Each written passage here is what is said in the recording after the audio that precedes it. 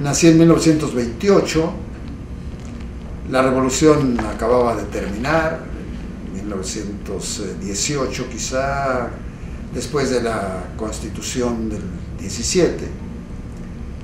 Eh, nací el año del asesinato del presidente electo Álvaro Obregón. Nací el año de la terminación de la guerra cristera.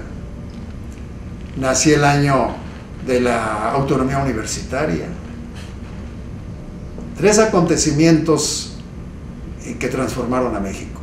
Yo ejerzo el oficio de periodista desde hace alrededor de 70 años, sin interrupción, y me eh, obliga a estar muy pendiente de los acontecimientos y poderlos narrar y describir con la mayor objetividad, tanto en radio como en la columna que tengo en el Universal. Transmití por radio el funeral de Winston Churchill, que es una de las figuras políticas que más admiro del siglo XX. Tuvimos oportunidad de ver al hombre llegar a la luna, que fue una emoción enorme, porque se abría una época en la historia de la humanidad. Qué suerte nos tocó poderlo vivir, poderlo narrar. llegó la televisión a color, transmití el funeral de Kennedy en Washington, después del asesinato en Dallas.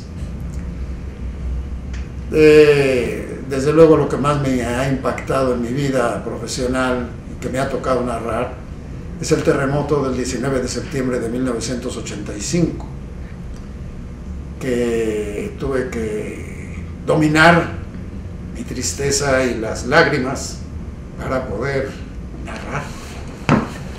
De tal manera que eh, yo no he contribuido a los cambios ni en la televisión ni en los acontecimientos de México. He sido simplemente un testigo, un narrador, un cronista. Esta es una profesión difícil en que trabajas contra el tiempo de la entrega.